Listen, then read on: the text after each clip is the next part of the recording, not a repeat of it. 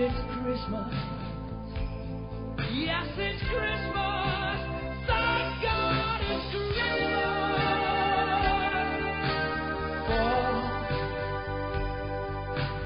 one day.